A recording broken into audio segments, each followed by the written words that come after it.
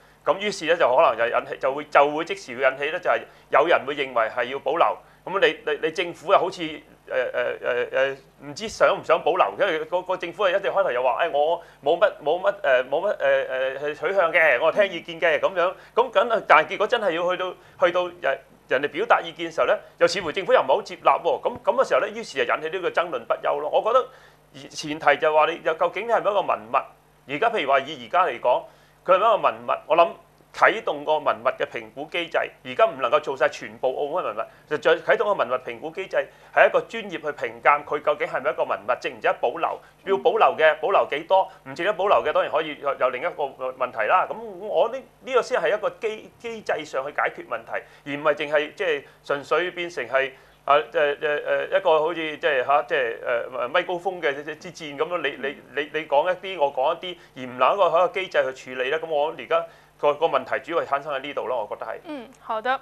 其實這個愛都酒店的重建構想啊，從提出到現在已經有一年左右的時間了，但似乎也是有些受阻。那麼畢竟現在也是沒有充分的討論，還有一些人是有強烈的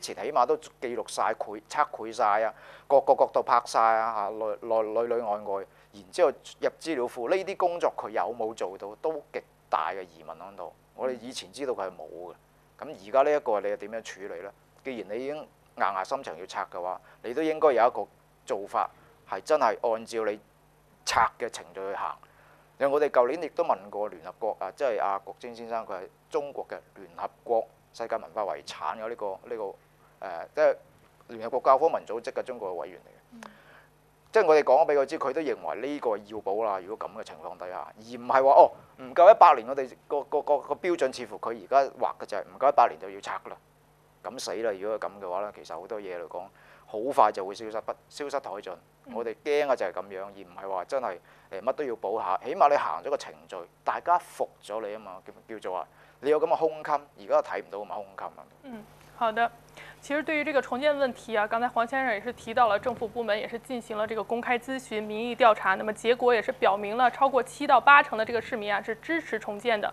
那么政府也是希望修建这个青少年文康中心，来配合望德堂区发展这个文创产业的社社区的这样的一个定位。如果真的选择重建，就要考虑这个塔什和周边的设施的整个规划，其实让澳门人受益。其实对于这个活化爱都酒店方面，你有怎样的一个意见呢？欧云？嗯，嗱。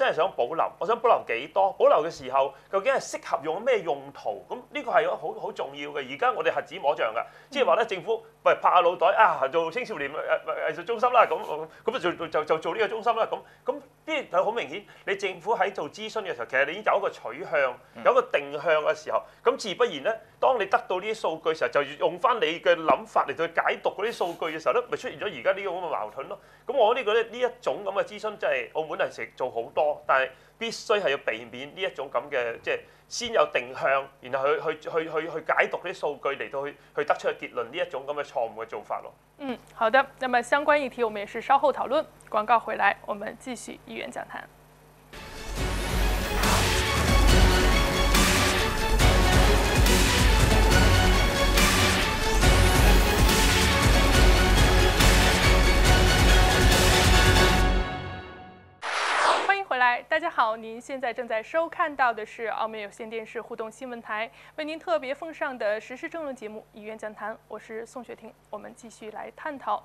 那么重建这个爱都酒店呢，也是包括三个部分，旁边的新花园泳池也在范围之内。那么上世纪呢六十年代轰动华人圈的無塵比武就在爱都酒店的新花园泳池上面进行，所以港澳不少武侠小说迷都觉得新花园泳池是他们的朝圣圣地。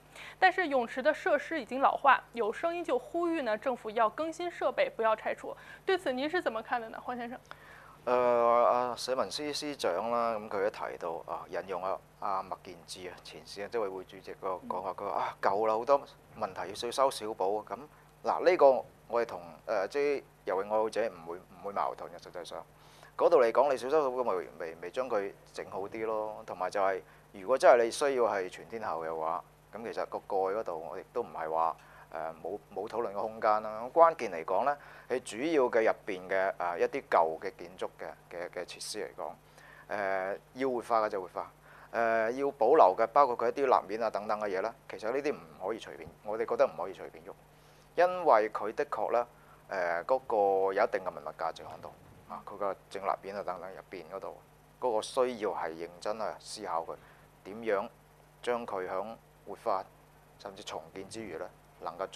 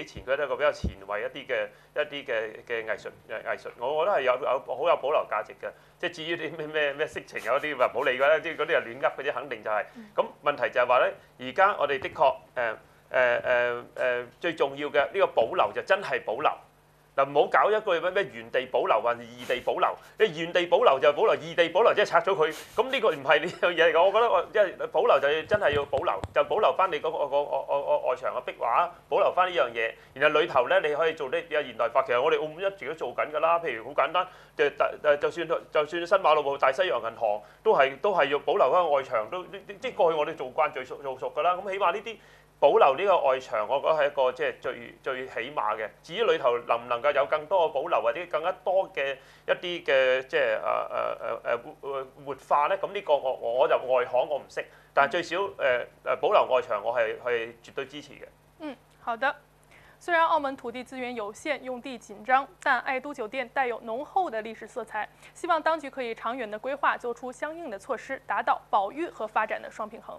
今天多谢欧议员以及黄先生参与我们的议题讨论，也感谢您收看这期的议员讲坛。我们下期再会。